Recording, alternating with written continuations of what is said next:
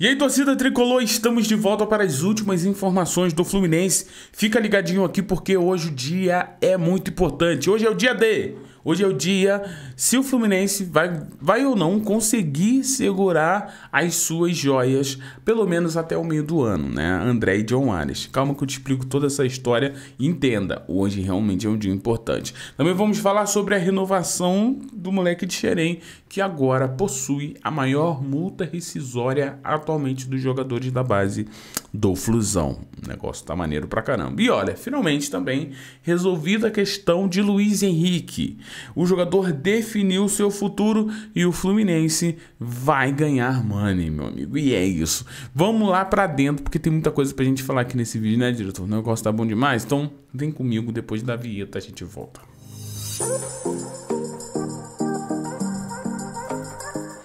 E além de tudo isso, tem uma cláusula aí no contrato do Luiz Henrique um pouco curiosa, né?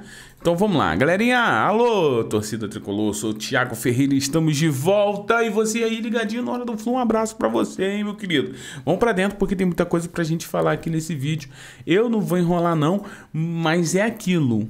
Tem Rapaz, que situação. Hoje é o dia importante. Por quê? Ó, as janelas estão fechando e o Fluminense vive uma expectativa de 24 horas decisivas aí para manter André e Arias no seu elenco em 2024, tá?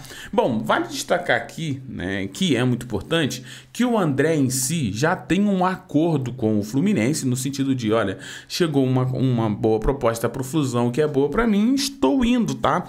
Porque existiu uma promessa do jogador em ficar no Fluminense para conquistar a Libertadores, ele fez isso muito bem, André poderia ter saído no meio do ano passado, onde o Fluminense recebeu uma proposta de 30 milhões de euros, né? E mesmo assim o Fluminense, com muita dor no coração, recusa, porque dinheiro é bom, né? E o André fala: vou não, meu amigo, vou ficar para conquistar. Ficou, conquistou, virou ídolo, conquistou nosso coração também. Mas agora ele tem que dar prosseguimento à sua carreira, pelo menos é assim que enxerga André e o seu staff. Com isso, ficamos na expectativa de chegar uma grande proposta no início dessa temporada, porém, a gente sabe que a temporada, a janela, na verdade, mais forte para grandes investimentos são a janela do meio do ano, como o André né, recebeu aí os 30 milhões de euros do Liverpool. A questão aqui é o seguinte: até nesse exato momento, não tem nenhuma proposta, tá? Nem para o André e nem para o John Ares. E por que, que o John Ares está aqui, né?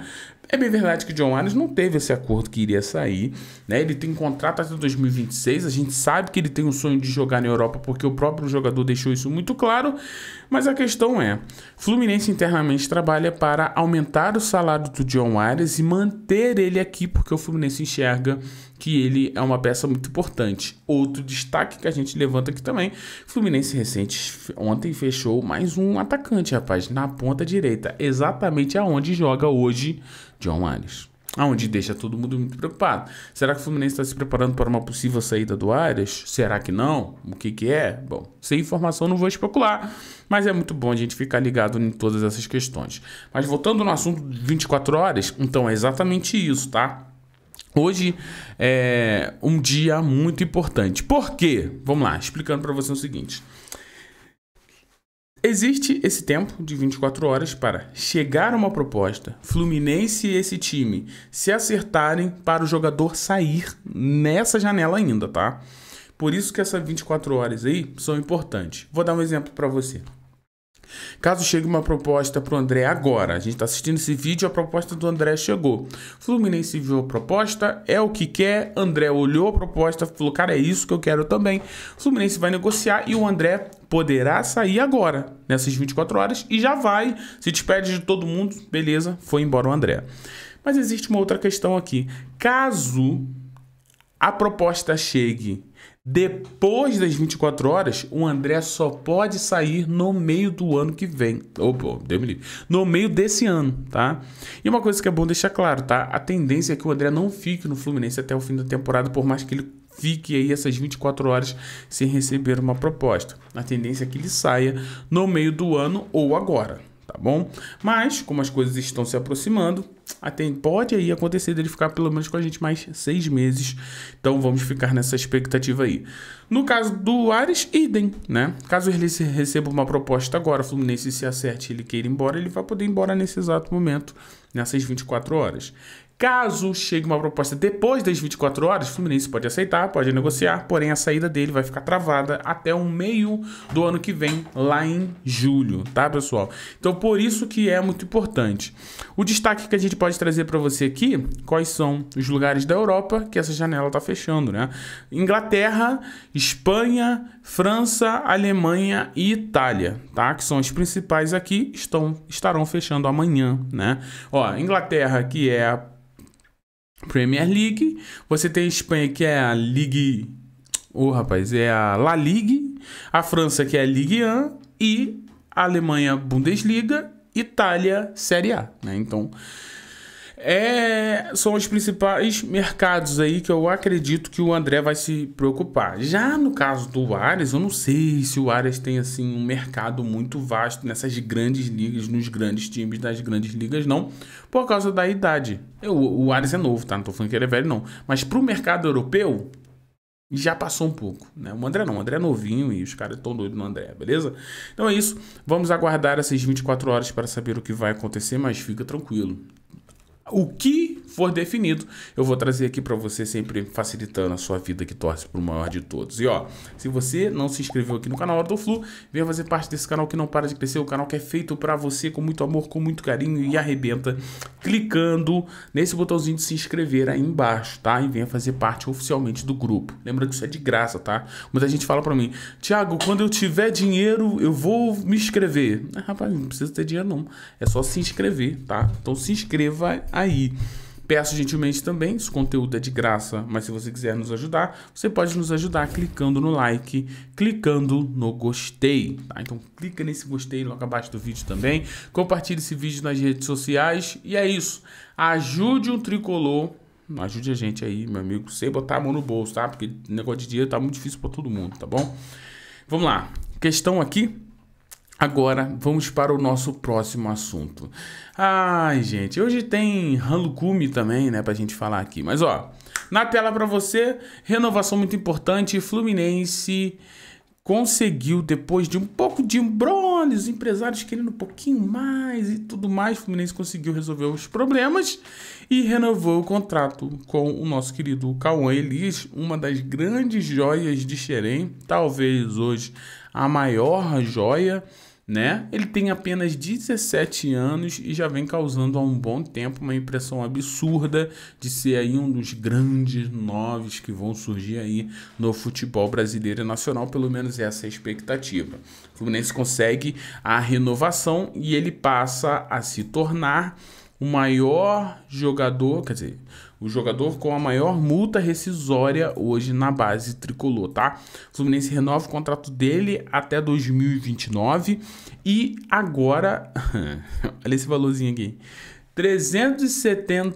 376 milhões de reais é a sua multa rescisória. O que eu quero falar para vocês aqui em relação a essa multa rescisória é o seguinte, é sempre bom explicar. Não é que o jogador vai sair por esse valor, não é isso. É um mecanismo de defesa do Fluminense a clubes europeus, né?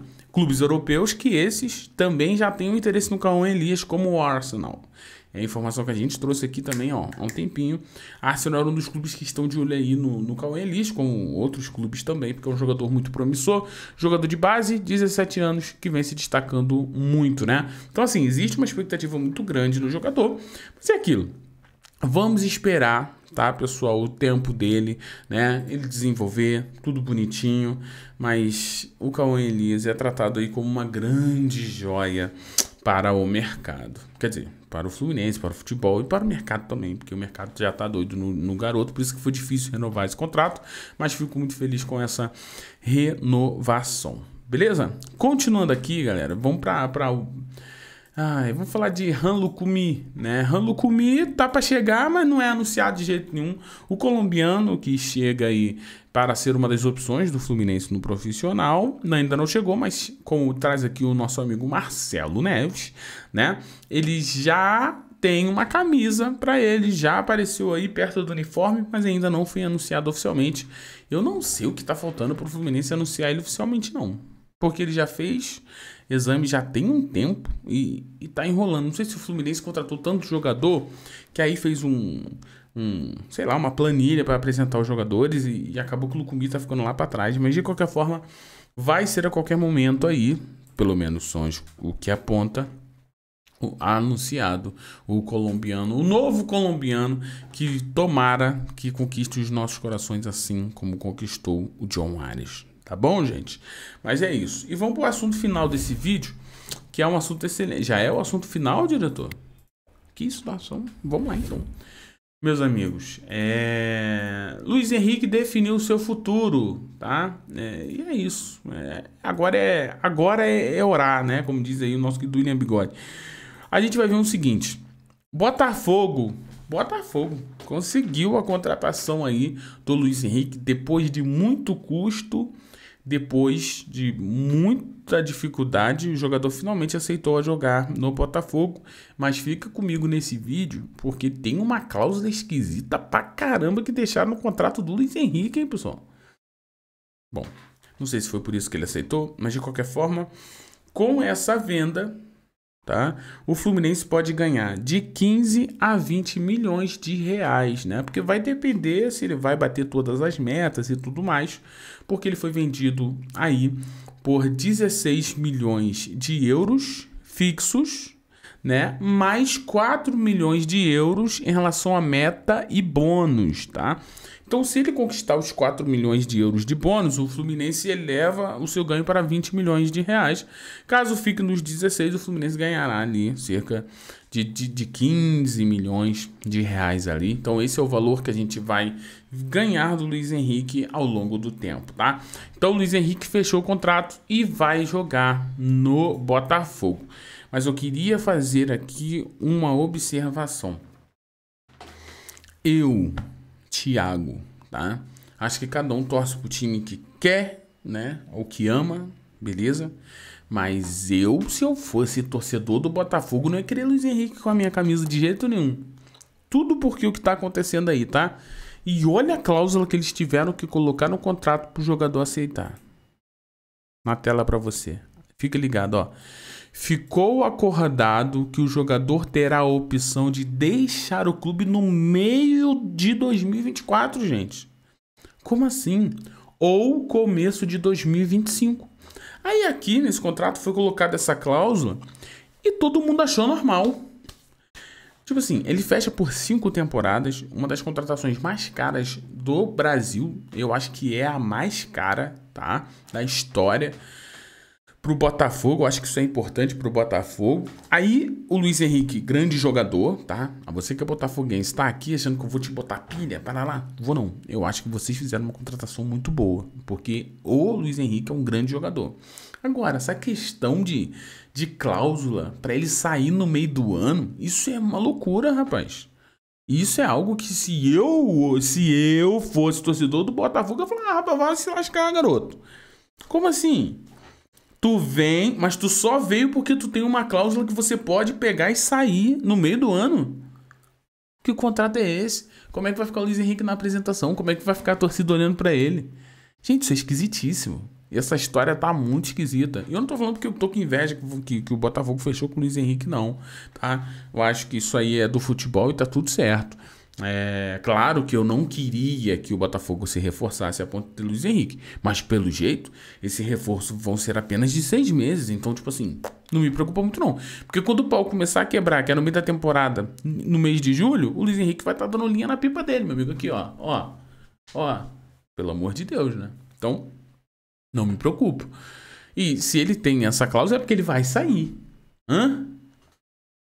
Mas de qualquer forma, isso, o Fluminense vai ganhar cerca de 15 a 20 milhões de reais. A gente não sabe ainda porque não sabe se o Botafogo vai conseguir bater as metas, tá? Ou o Luiz Henrique, no caso, tá? Ainda mais com esse pouco tempo de seis meses. Sei lá. Mas fica comigo que a gente vai trazer muito mais novidades para você. E a Luiz Henrique voltando pro Rio de Janeiro, né, meus amigos? Não pro Flu, mas é isso. Se inscreva aqui no canal, deixa o like, obrigado pela presença de todos vocês. E é isso. Você que chega até aqui no fim do vídeo, você sabe, você é muito importante para o canal Hora do Flu. Beijo, tô indo lá, fiquem todos bem, tchau e valeu, pessoal.